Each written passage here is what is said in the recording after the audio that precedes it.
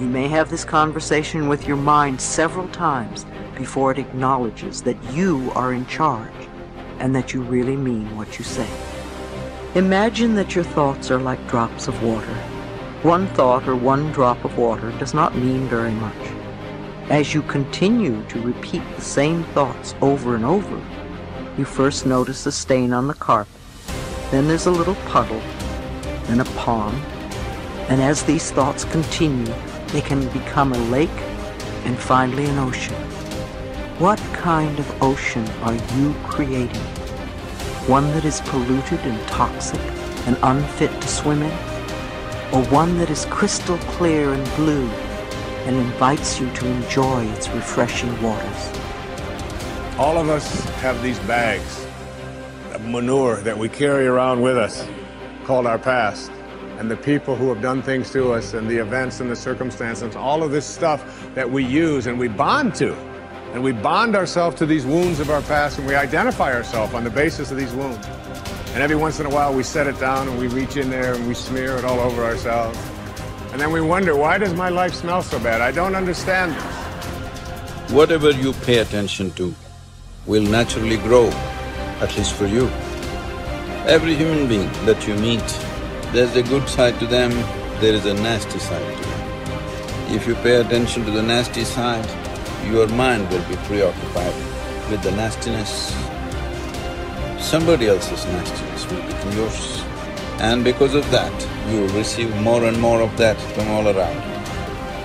If you pay attention to the best, even though in some people it may be a minuscule, if you pay attention to the best, it will grow, at least in your mind.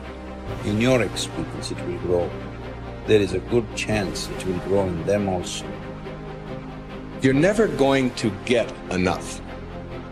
You already are everything. You're everything that you need. Think of it for just a moment. Everything that you need to have total bliss, perfection of your life, you already are. You already have it. You came into this world with nothing. That's how you're going out. And the time that you have here, it, what you have is your uniqueness, your specialness, and you don't need anything else. Now think on this. If you don't know how to appreciate what you have and where you are in your life, you don't need anything else. Because if you do get something else, you won't know how to appreciate that either. You'll just want more. Or you'll want it to be different. Or you'll want it to be the way it used to be or you'll want someone else to be the way you think they should be. If we are willing to turn our lives over to this greater power within us, the power that loves and sustains us, we can create more loving and prosperous lives. I believe that our minds are always connected to the one infinite mind, and therefore all knowledge and wisdom is available to us at any time. Nobody changes until they change their energy. When you change your energy, you change your life. See, it has nothing to do with the external activity that you're doing. It's got something to do with the internal systems as to how they're functioning. Essentially, it means either neither your body, nor your mind, nor your chemistry, nor your emotions, nor your energy are taking instructions from you. They're doing their own thing. Once your machine is not in your control, being peaceful is impossible. I'll tell you, you get into your car and now you go there and you want to turn this way. You do this to the steering, it goes this way. Can you peacefully drive this car? Can you? No. Anxiety is natural, isn't it? This is what has happened to your vehicle. It's out of control. You've never done anything to find out where the steering wheel is, first of all. This is not that simple as a car, this is a super super computer.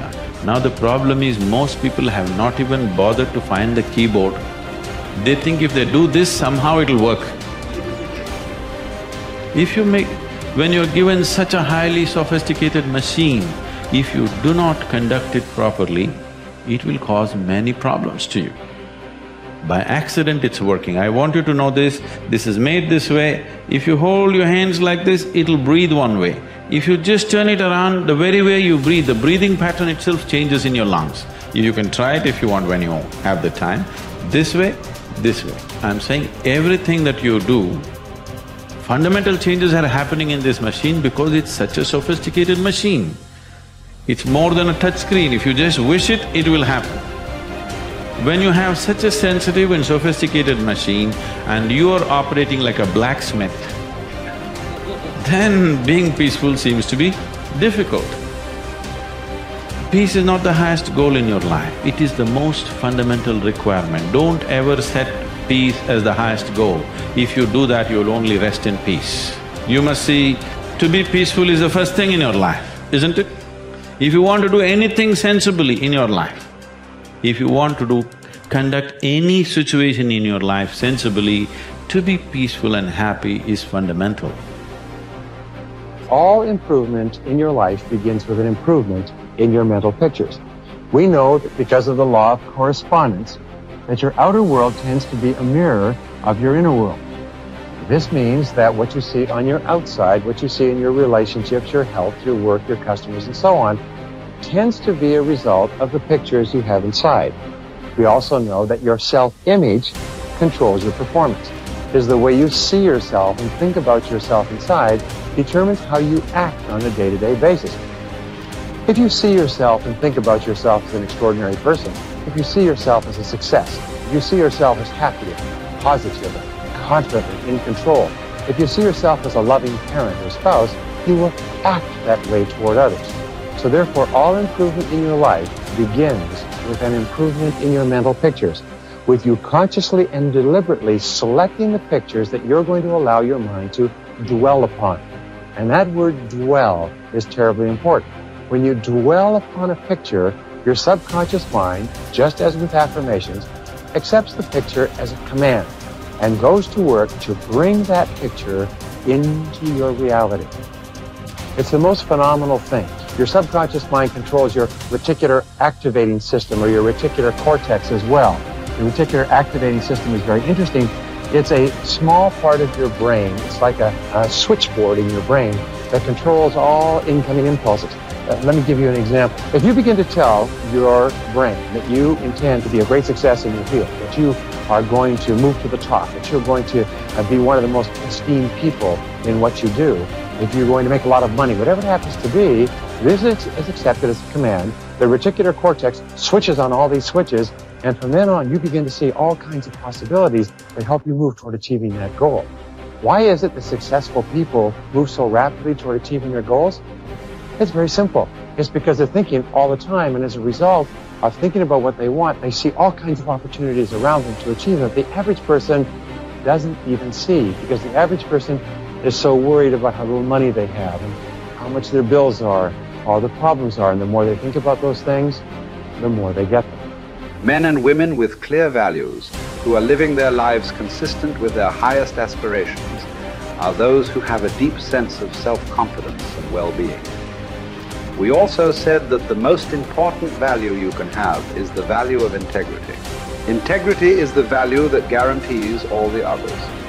Having integrity means that you will not compromise on what you believe to be right in any area. Integrity is absolutely essential if you want to capitalize on your strength.